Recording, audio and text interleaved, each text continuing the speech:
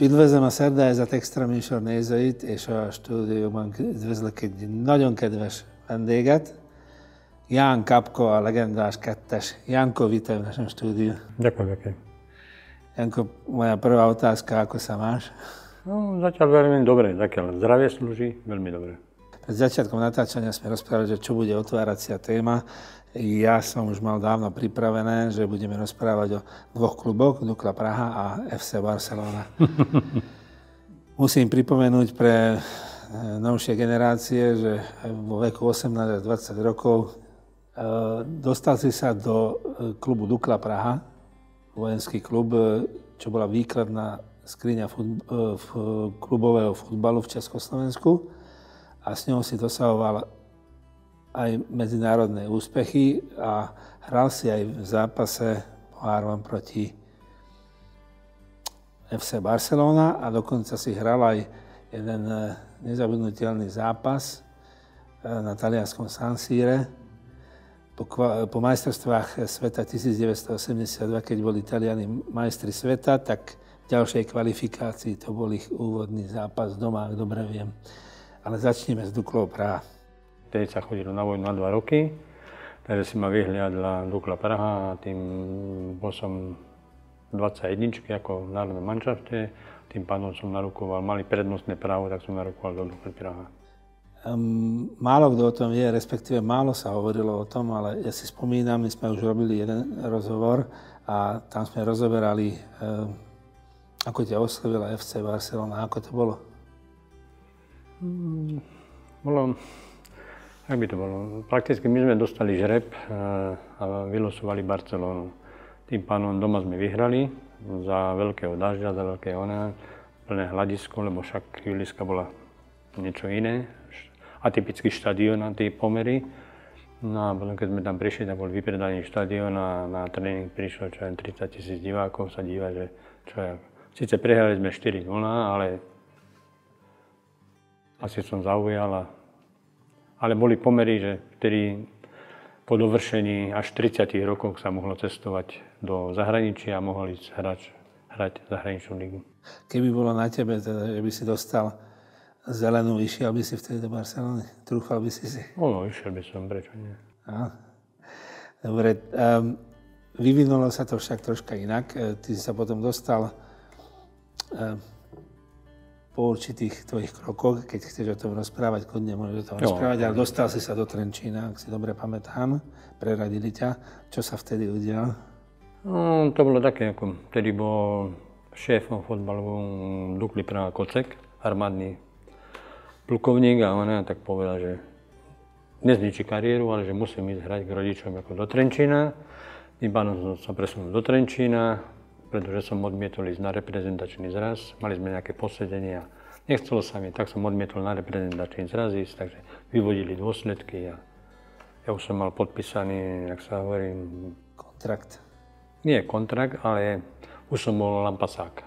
Aha, áno. Takže už som mal zmluvu s Duklou Praha ako lampasák, už som nebol vojak základnej služby, ale už som bol poručík, takže tým pádom ma preradili do Trenčína.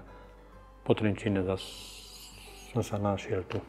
Áno, e, to si pamätám. Ak dobre viem, ty si prišiel na zimnú prípravu.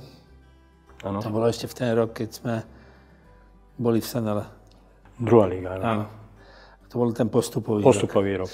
A veľmi dobre si ťa pamätám. A prípravné zápasy sme hrali na škváre. Na škváre ešte. Na škváre.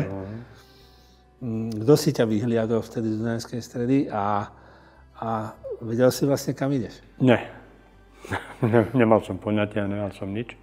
Prakticky eh, býval som v Trenčine, mal som tam dva byty, jeden od Dukly, druhý od zamestnávateľa, to z Trenčín. Tým pádom ma nevedeli nájsť a nejak som podpisoval zmluvu vtedy se Žilinou. Lebo mm, sa mi da, tam bol jeden pán, Krasnohorský sa volal, to si dneska doteraz pamätám a zrazu príde on, že mám telefón, že by som išiel, lebo že nezvíham telefóny tak som išiel dole k susedke a tam mi volali oni, moji rodičia sú v Piešťanoch, že musím, čo sa stalo, že auto stojí dole.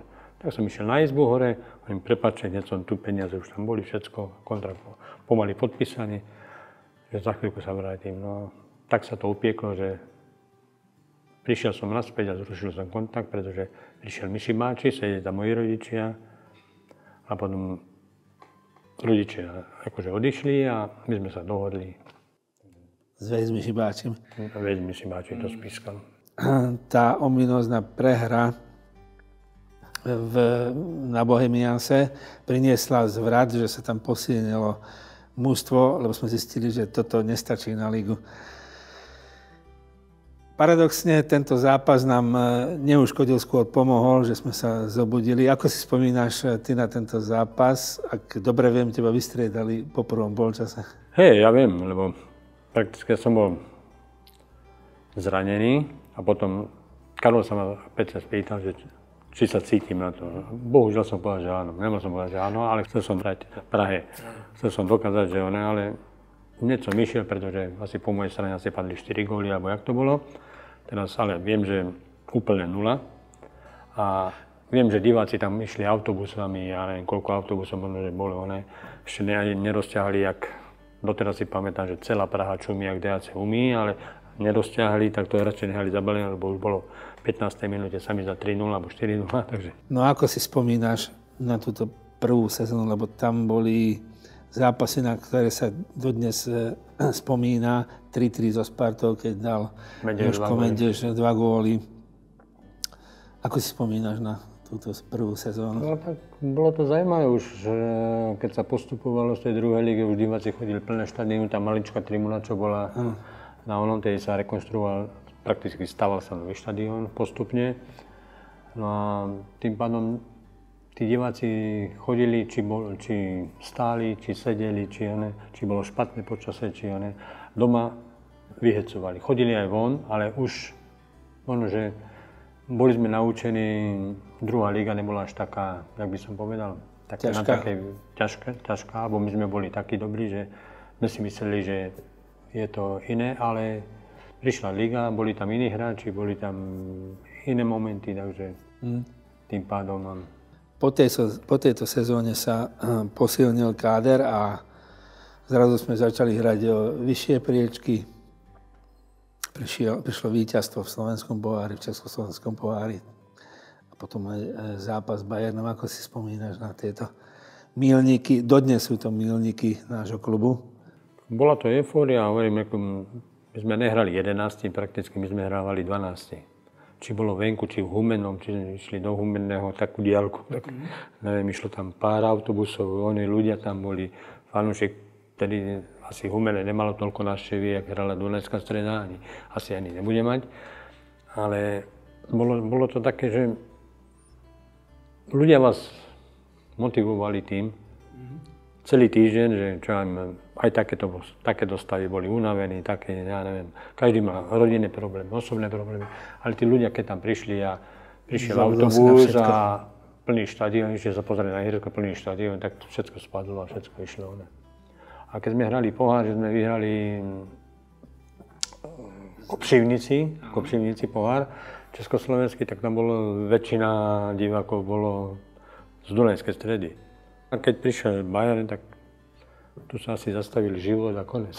Naozaj, ako si spomínaš na ten Bayern?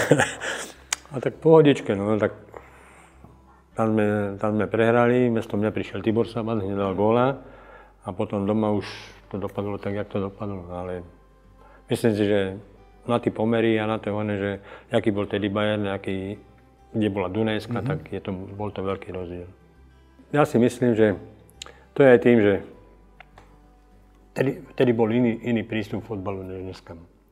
Pretože my sme, to, my sme sem prišli s prepáčením ako skrachovanci. Či to bol Tibor Mičinec, či som to bol ja, Aha, či to bol oni, Rudo Pavlík, či to bol, neviem, ja, druhú šancu ste potrebovali. Michalec, alebo títo oni, Karol, Karol Krištof končil, alebo títo Jano Hodur, super hráči, super oni. Ale myslím si, že tí diváci im dali druhý jak sa povie, elán do života. Alebo druhá a šanca. Keď, keď prišli na to ihrisko, tak boli úplne...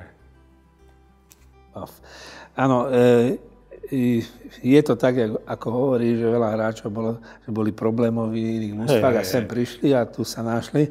A tu podotknem, že takto v roku 2022 môžem povedať, že tu si našli aj domov, však aj ty tu bývaš a mnoho ďalších hráčov. Mm, sa tu zabydlilo, ako by povedal Čech. Tak hej, ale to, to vyplývalo z toho, že z tej dôvery toho vedenia, z tej dôvery trénera, z tej dôvery, mm-hmm. či to bol Mišiba, či to boli Šanta, či to boli ďalší, ktorí sa venovali tomu, ktorí 24 hodín prakticky žili s tomu, len aby my sme sa mali dobre, len aby, a keď zase my sme to cítili a keď sme neodevzdali ten výsledok, tak hovorím, že my sme si sadli hráči medzi sebou a my sme si to vydiskutovali. My sme si povedali, áno, vieš čo, keď sa nebudeš cítiť, tak radšej chod dole, radšej neísť na ihrisko, nech tam ide niekto iný a my ho potiahneme. Pretože bolo, bolo to, jak sa hovorí, také kamarátstvo, jedna rodina, ženy sa stretávali s deťmi hore na tribúne, tam mali miesto, potom mali hore na tom v reštaurácii tam mali miesto, takže bolo to ozaj jedna rodina. Vyšli sme pondelok, sme mali napríklad, hrali sme sobotu, nedelu sme mali tréning, sme mali tréning, išli sme do jednej pivárne, tam sme si dali pivo a tam sme si to rozebrali. Buď v dobrom, buď v zlom. A každý prišiel, každý on. Takže... Kto bol šéfom, alebo ktorí boli takí lídry v kabíne? To, to, že kto bol lídrom na ihrisku, to sme videli, ale do kabíny sme až tak nevideli. Tušili sme, ale, ale predsa len. A tak ale väčšinou tam, tam, bol, otvor, tam bol otvorený priestor. Na, ja neviem, či to bol ten alebo ten hráč, nechcem menovať, alebo hral zle, tak sme mu povedali, či to bol skúsený hráč, či to nebol skúsený hráč. Tam, tam to musel zebrať. A keď to nezebral, povedal, že toto mám problémy, tak áno, tak to rieš, vie si to potom nastup. Ale tam to bolo tak, že ideme za jedným cieľom, ideme za tým, aby, lebo toľko divákov, čo tedy chodilo, nechodilo nikde na ligu. Tak. A či to bolo na Sparte, či to bolo na Slovane, nechodilo. Tu plný štadión, plný oni a dovidenia. Eh, určite sa k tejto téme ešte vrátime, ale tak, jak som ti naznačil, otvoril by som tú tému. Ty si začal nosiť účes, neviem, v lete si si urobil, lebo aj viacerí hráči si to urobili neskôr po tebe, volal sa ten účes Dajer, ak si dobre pamätám. A, a tričko s eh, dres s dlhým rukávom si si vždy vytiahol hore, čo nebolo povolené alebo hneď po, e, ako zapískal rozhodca, že sa za, začína zápas, tak si si vyhrnul e, tričko. Tebe to tolerovali? No, tolerovali, lebo asi, asi s nenarobili nič, lebo to by mi museli vždycky dať žltú kartu. Čo sa týka toho účesu, to bola tak, taký tiež, one, že po nejakom zápase sme išli a rozebrali sme zápas, sme si popili. No a prišiel nejaký chalinsko brškaný lasmi, nebol to chalúbka, jak vtedy došielený, ale niečo, niečo bolo hovoriť. Nedá si trvalú. Mne to je jedno, reku. Tak bola stavka. Ten večer, ak sme skončili s pivom, tak kamarát mal manželku a jeho manželka hneď večer mi spravila úžas a ráno som prišiel na tréning už s három, ako Janko v tom období, inak veľa, veľa ľudí... To boli také, mladých, jak sa hovorí, pardon, to boli frajerina. také sekundové rozhodnutia. Áno. A nelutujem to absolútne, takže...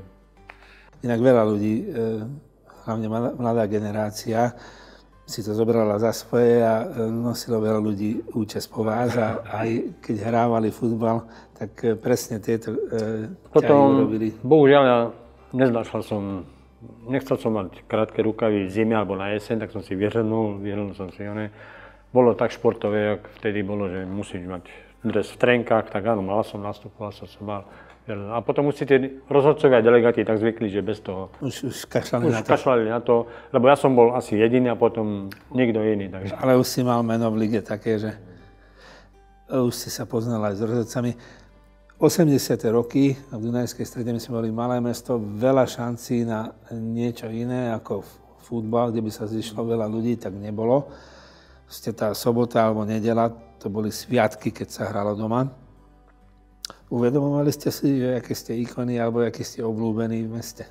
Či som bol obľúbený, či som... U niekoho som bol, u niekoho som nebol, u niekoho... Je to také, to už je pohľad z druhej strany. A...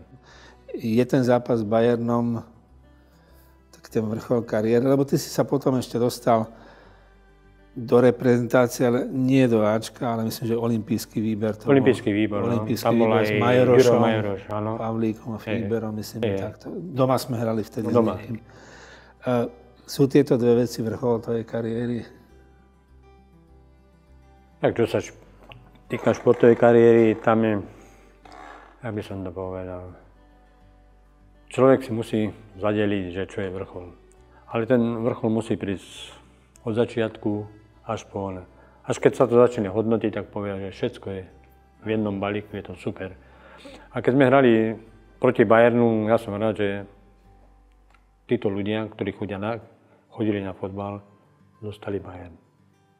Aby, aby videli, že čo to je, aké mužstvo sem príde.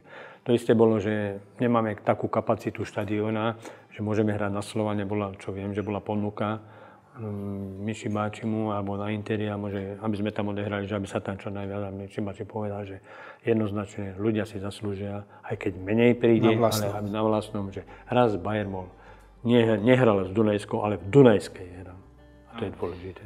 Čo Miši Báči ano, povedal, chápam. on chce jedno pre týchto ľudí, v Dunajskej strede spraviť jedno, že, Dunaj, že Bayern, veľký Bayern príde do Dunajskej stredy a to klobúk dole. A to je dobré aj pre budúcnosť, lebo ťažko by sa, alebo divne by sa pozeralo teraz po rokoch no. na to, že sme hrali, hrali?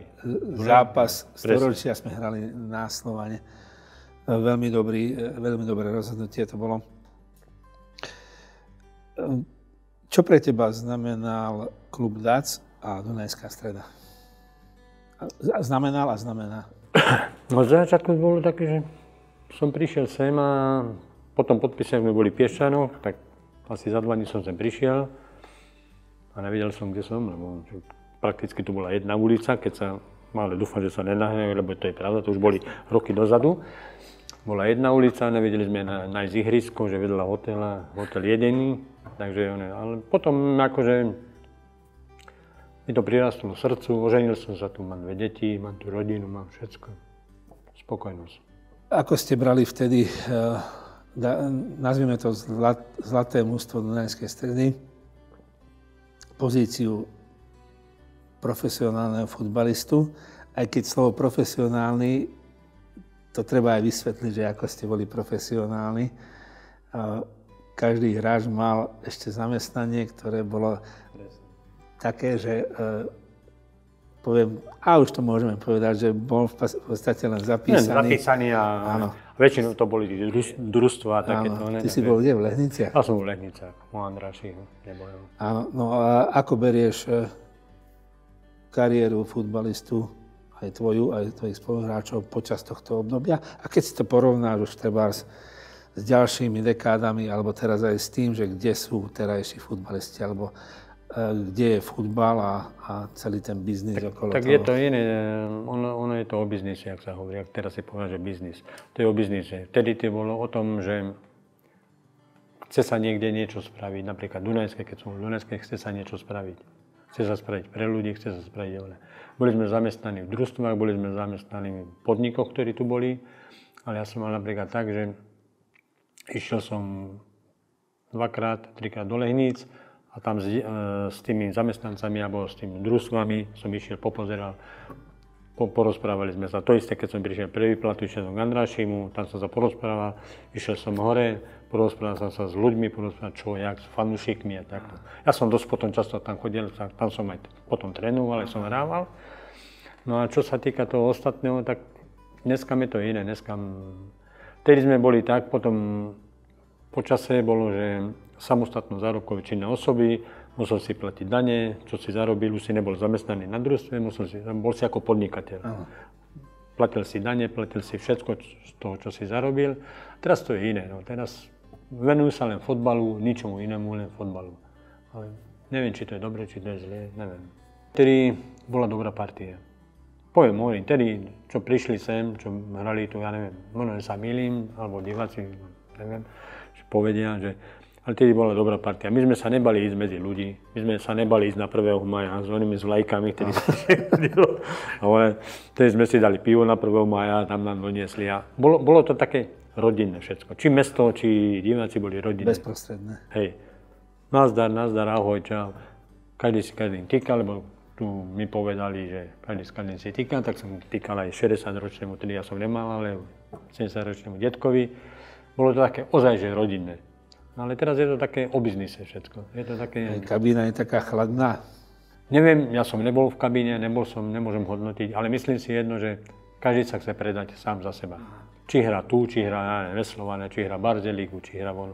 Každý sa chce pre, predať sám za seba. Je to niečo iné, ja hovorím o našej lige, je to niečo iné v iných ligách, kde ozaj sú profesionáli a vedia, že za čo idú. Ale tuto každý príde a neviem, Máme tu, ďalej. máme tu veľkú akadémiu, máme tu ihriska také, že na Slovensku ani nikto, možno, že v Európe majú pár oných takých ihrisk, ale nemáme žiadnu mládež, nemáme nič, ktorá príde do A mústva. Ani jedného nemáme odchovanca. A máme tu akadémiu veľkú. Chýba tu taký hráč alebo taká partia ľudí z kabíny, ktorá po prehratom zápase pondelok, v útorok by ešte nevedela zabudnúť na to, že prehrali, tak jak ste boli tak to my sme nezabudali ani do stredia. Potom aj ešte pred zápasom sme si povedali, toto sa vyvarujme, toto ideme. Ale hovorím, iná doba, iné, one nemôžem hodnotiť. Jasné. Dnešný fotbal, dnešný oný. No a keď eh, zapneš dneska telku, tak tam máš takmer nie ligy, ktorú nemôžeš vidieť. Máš všetko prakticky. Ktoré zápasy si zapínaš a ktorí hráči sa ti páčia, aký štýl sa ti páči.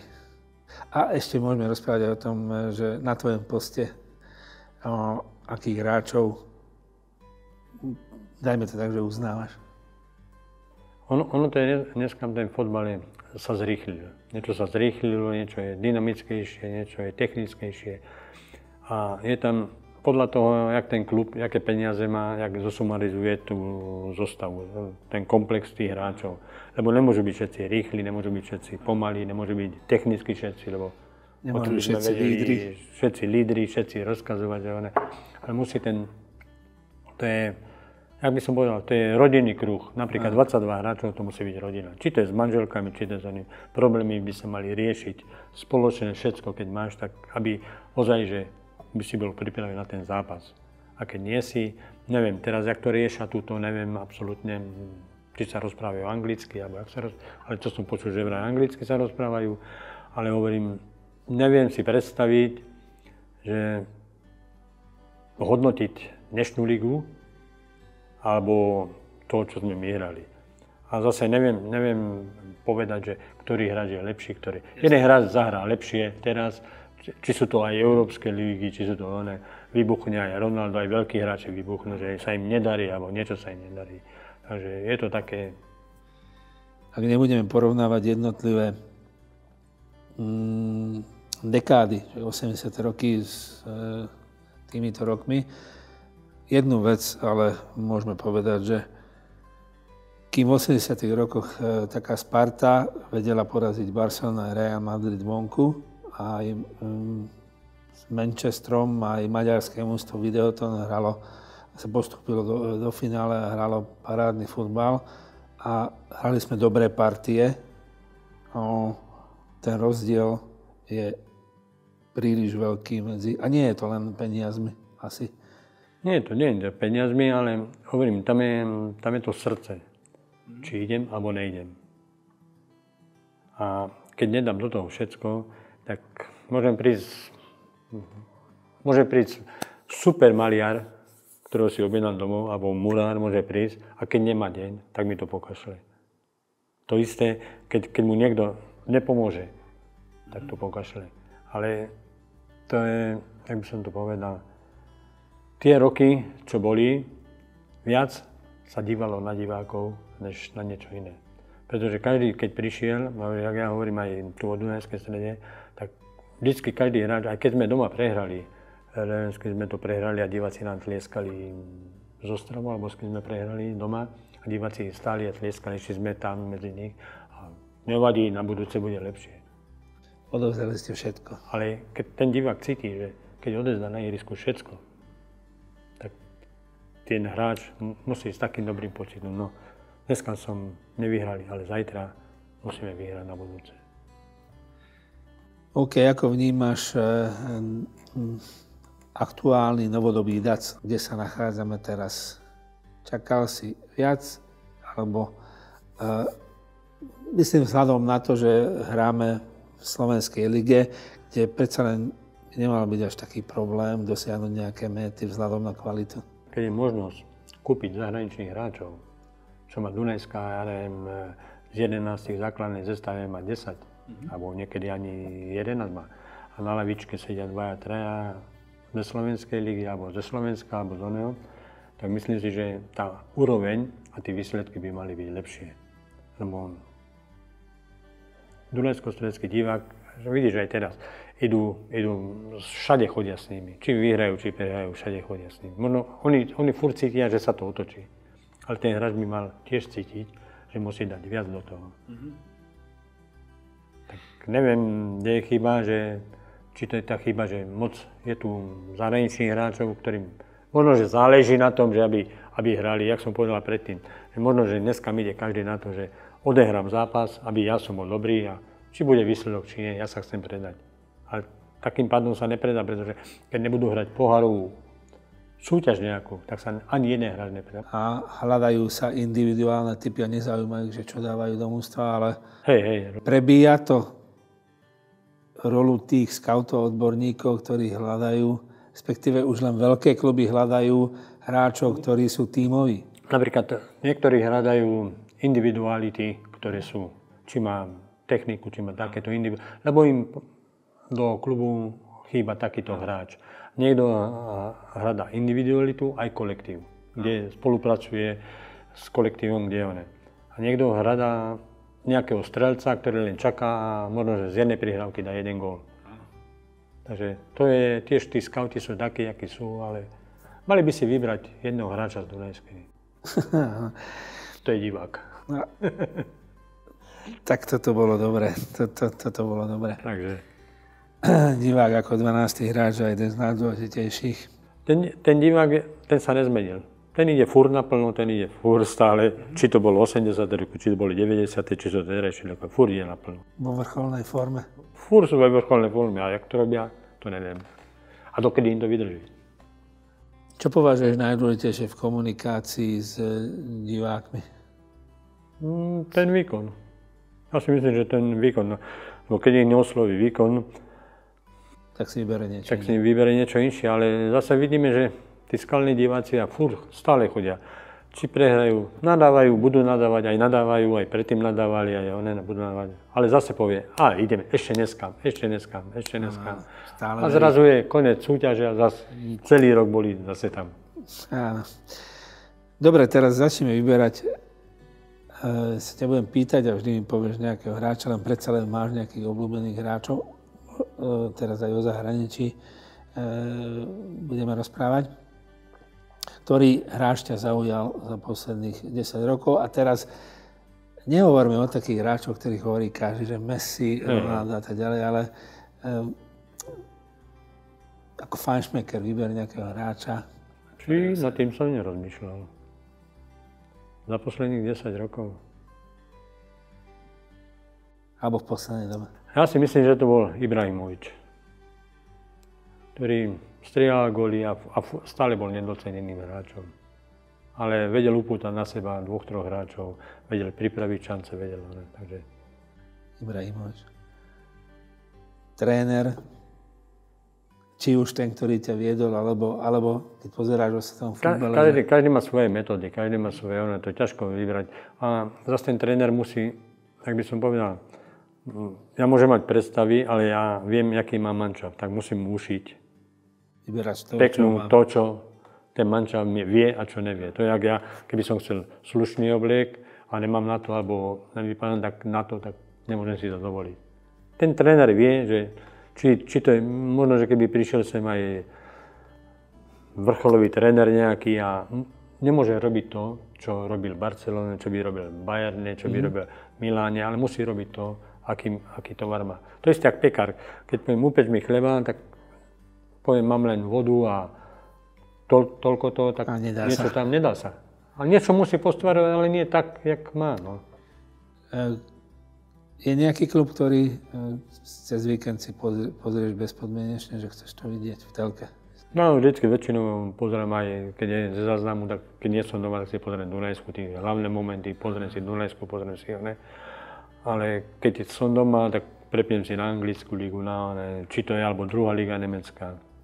Takže to som v Nemecku, tam tiež chodím na dru, druhú ligu, takže pozrieť. A... Pospávajú obranca, v čom je podobný s e, tým obdobím, keď si hral a v čom je už zásadne odlišný? No tak už, ja by som si myslel, že tam už je jedno, či je pravý obranca, či nie je pravý. Už musí byť kvalitným hráčom. A ten kvalitný hráč už musí vedieť, čo ten tréner od neho chce. A povie, tí hráči už musia vedieť, jeden z druhého už musia tak byť, jak e, rodina, že čo vie, čo, čo dokáže, čo nedokáže. Takže ja si myslím, že už je to také, že ten pravý obranca môže hrať útočníka, že môže hrať záložníka, že môže hrať tam. Tu sú také všeobecné, one už to není, ale keď sa postaví na pravú stranu, už ten tréner bude tak, toto, toto, toto, máš tam tohoto, ho a potom rob si svoju robotu. Vaša generácia v poslednej dobe eh, dostala pár pozvaní, či už eh, ste prišli 11 alebo, alebo v menšej skupinke a už, už eh, je to lepšie ako pred 15-20 rokmi, keď sme robili, teda respektíve predstavovali sme moju knihu a rozprávali sme o tom, že, že málo záujmu je o vás. Okrem týchto oficiálnych stretnutí ste v kontakte? Bohužiaľ nie. Lebo či to bol Juso Šimon, či to bol sen tam s Audim, sa stretneme s Palom on sa stretne. Takže je to málo kedy one, takže neviem, možno či majú povinnosti, či nemajú. Ja tiež moc niekam do Dunajska nechodím. Som tiež obmedzil také tie všelijaké one Teraz mám tiež pozvanie do Trenčína na hrad, tam do Siene Slavy idú uvázať, takže neviem, no. Len keď náhodou sa stretneme, takže one, pokecáme, dáme si pivečko. One. Ako si žije Jan Kapko doma bez futbalu, bez aktívneho futbalu? No tak relaxujem, pohodička.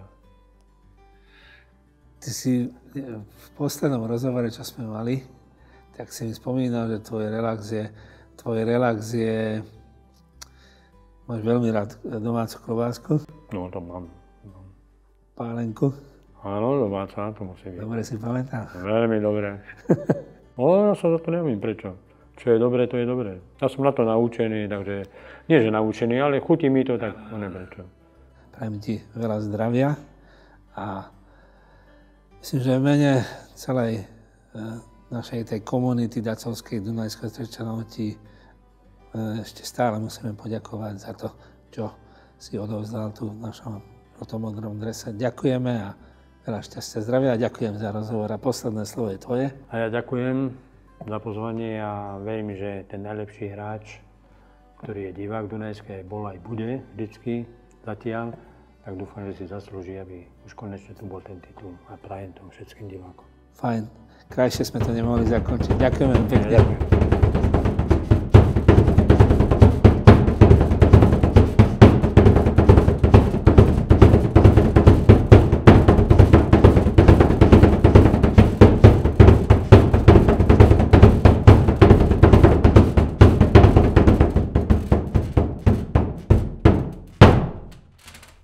shout outs.